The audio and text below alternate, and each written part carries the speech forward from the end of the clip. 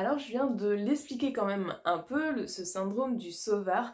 Euh, moi j'ai toujours entendu parler du syndrome du sauveur via le triangle de Cartman. Alors peut-être que tu as déjà entendu ce terme. Donc le triangle de Cartman, ça, ça met en cause trois personnes. Le persécuteur, celui qui persécute l'autre, la victime, donc celle qui pleure et qui est victime, et le sauveur, celui qui vient à la rescousse de la victime euh, pour l'aider dans, son être, dans sa tâche, dans tout quoi. Euh, donc moi j'avais déjà connaissance de ce syndrome-là par ce triangle-là. Donc une première chose qui m'est venue à l'esprit, c'est déjà d'arrêter d'être dans un triangle et d'être juste deux. Sauf que bien souvent, euh, le syndrome du sauveur, t'as pas besoin d'être trois, enfin pas vraiment besoin d'être trois. Il suffit qu'une copine euh, vienne vers toi et te dise bah tiens aujourd'hui je suis pas bien, il s'est passé ça avec mon copain, machin, et toi tu prends la position du sauveur en disant tadam, je vais te donner plein de conseils pour que tu ailles mieux dans tes relations conjugales et du coup tu me remercieras plus tard. Et euh, là clairement tu fais le sauveur mais tu vas le faire pour euh, toutes les personnes que tu vas rencontrer, même celles que tu connais pas trop. Je sais pas pourquoi, il y a un truc qui t'attire, euh, le fait qu'elle aille pas bien, que tu saches comment la sauver, euh, comment l'aider dans sa vie et la faire aller mieux. Ça, c'est quelque chose qui, quelque part, t'appelle pour... voilà, c'est un besoin, en fait, c'est irrépressible. Tu vois quelqu'un qui va pas bien, t'as besoin d'aller vers cette personne et t'as besoin de l'aider. Alors, tu me diras non mais c'est pas forcément négatif en fait d'aider les gens, je comprends pas pourquoi on devrait arrêter d'être des sauveurs.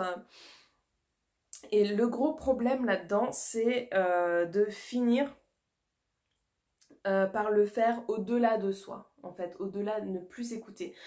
Derrière ce syndrome du sauveur, on retrouve la blessure de l'abandon.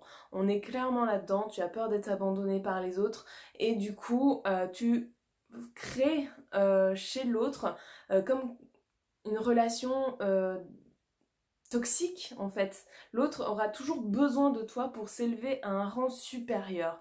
Et dès qu'il aura besoin de se confier, il va te téléphoner en disant bah tiens, là j'ai un problème, il faut que tu m'aides.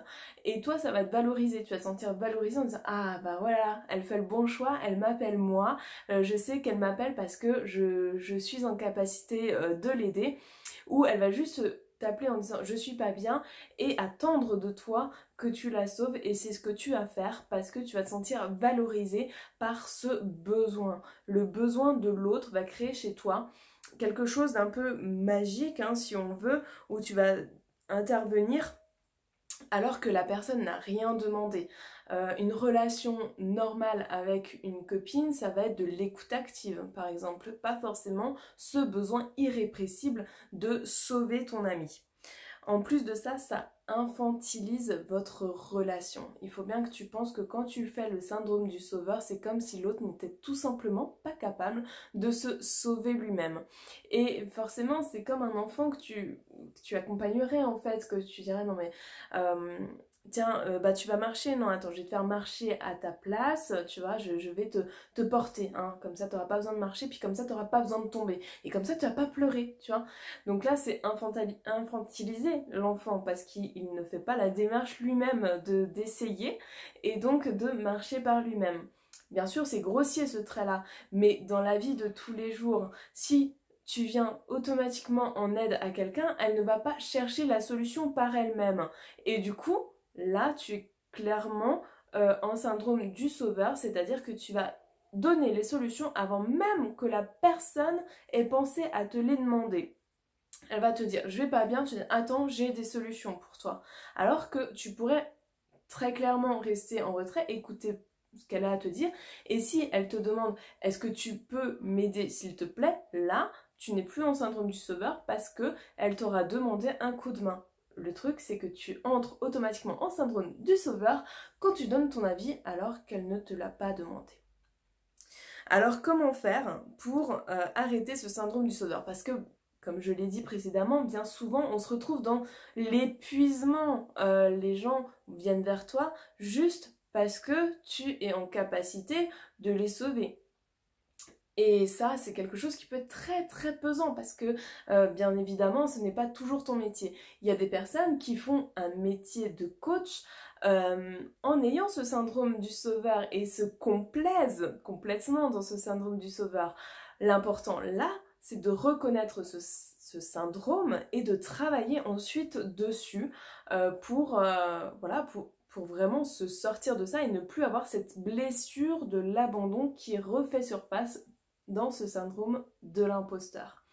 Donc comment guérir cette blessure du coup Et eh bien déjà en devenant réellement empathique, comme je disais précédemment, faire de l'écoute active, attendre que la personne te demande son aide. Peut-être qu'elle a juste besoin de parler et qu'elle n'a pas besoin que forcément tu la conseilles sur X ou Y chose, euh, qu'elle a juste besoin de se plaindre et euh, que du coup bah, voilà, c'est normal, c'est une amitié, euh, tu es là pour l'écouter et c'est bien naturel. Et ça, c'est de l'empathie. Tu es en empathie, tu l'écoutes, des choses résonnent, euh, tu euh, la consoles, mais en aucun cas tu vas lui donner un conseil pour quelque chose qu'elle ne t'aura pas demandé. la deuxième chose aussi, c'est déjà de bien se connaître, c'est savoir quand est-ce que tu vas rentrer dans ce syndrome de sauveur, quand est-ce que tu vas te dire ah bah mince, j'ai dépassé le truc et effectivement, je suis rentrée en syndrome du sauveur alors qu'on ne m'avait rien demandé. Euh, la personne ne m'avait rien demandé et je lui ai donné des conseils alors que vraiment, bah voilà, elle n'avait pas besoin de moi et c'est dommage parce que ça entache votre relation. Et du coup, c'est là où tu vas te rendre compte. Et pour ça, il faut bien se connaître, il faut s'observer et savoir comment on agit et comment on réagit face aux gens qui viennent nous voir. Tout simplement. Après, il faut arrêter de se sacrifier pour les autres. Effectivement, tu peux donner des conseils si la personne te le demande. Par contre, tu n'es pas obligé de te sacrifier. Non, on ne se sacrifie pas pour les autres. On est là, on est à l'écoute, mais tu n'as pas besoin de te sacrifier, tu n'as pas besoin de sacrifier ton temps et tu n'as pas besoin, si elle t'appelle et que tu n'en as pas envie, tu n'as pas envie de décrocher, tu n'as pas besoin de décrocher juste parce que elle va mal et juste parce qu'elle aurait besoin euh, de toi fais-le avec le cœur, tout simplement. Et euh, si tu n'en as pas envie, si tu n'es pas disposé à ce moment-là, l'énergie ne sera toujours pas bonne. Donc pourquoi accorder une énergie mauvaise à quelqu'un plutôt que euh, d'accorder de la bonne énergie au moment où elle en aura besoin et où toi, tu seras en capacité, là, d'avoir une écoute active et empathique.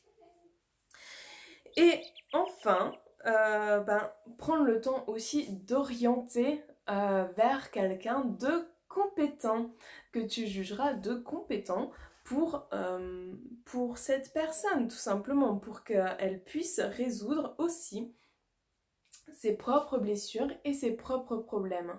C'est aussi ça, c'est juste se dire, bah tiens, t'as jamais pensé à aller voir un coach? Tiens, t'as jamais pensé à aller voir un psychothérapeute? Tiens, t'as jamais pensé à aller voir un hypnothérapeute et se décharger de cette mission de sauveur? Parce que les gens, il faut aussi qu'ils prennent leurs propres responsabilités. Quand tu es victime, tu aimes bien te plaindre.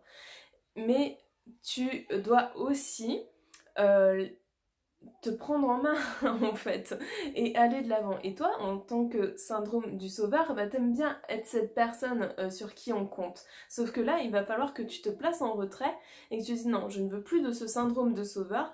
Et si tu as envie de te sauver, eh ben tiens, tu sais quoi? Tu peux aller voir telle personne, elle est géniale et euh, je te le conseille vivement. Elle va faire de toi quelqu'un de génial vas-y, vas-y les yeux fermés. Et tu te décharges de cette responsabilité. Tu n'as pas besoin d'avoir cette responsabilité de sauveur. Tu as juste besoin d'être toi-même.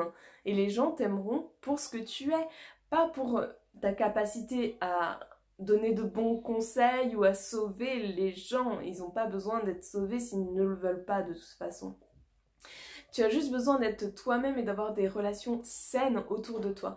Et je conseille vraiment de faire euh, les choses que je viens de dire parce que ça va vraiment t'aider dans tes relations et que toi-même tu, te sentiras libre et d'être libre d'être toi-même et d'être aimé pour ce que tu es et non pour, ben, pour le fait d'être une sauveuse, sachant qu'en plus, dans ce triangle de Cartman, hein, bien souvent on passe par les trois euh, phases, c'est-à-dire qu'à un moment on est sauveur, mais à un, autre moment on peut être victime aussi, quand on manque de reconnaissance. Et c'est là aussi où on sait qu'on est dans ce syndrome du sauveur, c'est-à-dire que tu vas essayer de sauver cette personne, cette victime, et d'un seul coup, tu, cette victime devient persécuteur, tu vois, et elle va te quelque part te persécuter parce qu'elle va dire oui mais finalement je n'ai plus besoin de toi.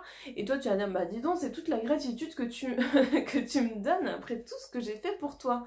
Et là tu rentres vraiment dans cette blessure de l'abandon qui va être vraiment à vif parce que tu vas passer en victime et tu vas te victimiser alors qu'en fait la relation de base n'était pas la bonne tout simplement donc je te souhaite vraiment d'évoluer sur ce chemin. Je t'invite à me donner en commentaire, à me dire bah, si tu as déjà été dans ce syndrome du sauveur, si tu es arrivé à t'en sortir, comment tu as fait, parce que ça peut aider aussi d'autres pépites à euh, sortir de ce syndrome. Je t'invite à liker euh, cette vidéo, à la partager si tu penses qu'elle peut être utile, et je te dis à demain pour une nouvelle vidéo.